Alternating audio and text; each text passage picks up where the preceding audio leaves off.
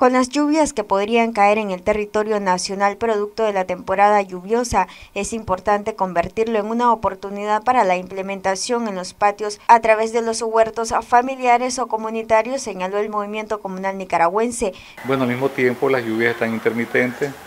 están afectando y estamos en mera época de la siembra de primera. Ya incluso algunos campesinos están preparando sus tierras.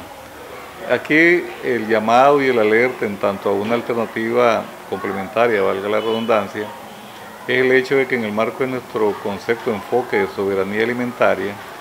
de seguridad alimentaria, eh, podamos en nuestros patios, ya sea de manera familiar o de forma comunal, tener este, sembrar cualquier tipo de producto que sea de cosecha rápida, pero que el secreto está en que si por ejemplo en un barrio nos ponemos de acuerdo, nos organizamos y todos sembramos ayotes, todos sembramos pipianes, todos sembramos, incluso en algunos casos puede sembrar lechuga, rábano, pepino, todo tipo de producto de que este, se cosecha de manera bastante ágil o rápida, vos podés consumir lo tuyo e incluso desde el punto de vista comunitario u organizado podés sacar al mercado. Picado destacó la importancia de aprovechar la lluvia para realizar la cosecha de agua. El agua que cae en nuestros techos, eh, eh, almacenada, recopilada, este, captada en barriles, en lo que sea, en tanques, en baldes, en lo que sea, vos tenés esa posibilidad incluso para uso doméstico. Pero también vos tenés la posibilidad de que si por ejemplo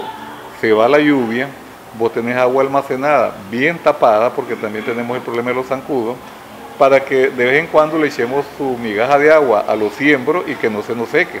Porque vos puedes sembrar pipianes, puedes sembrar ayote, pepino, lo que sea, pero el secreto es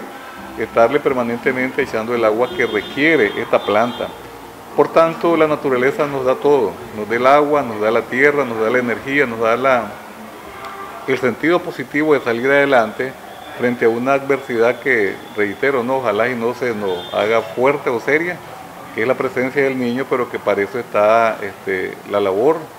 eh, eh, el rol de la comunidad organizada, de las familias. El Instituto Nicaragüense de Estudios Territoriales pronostica que durante los próximos días, especialmente entre los lunes y miércoles, se esperan lluvias ligeras en diferentes partes del país. Noticias 12, Darlene Telles.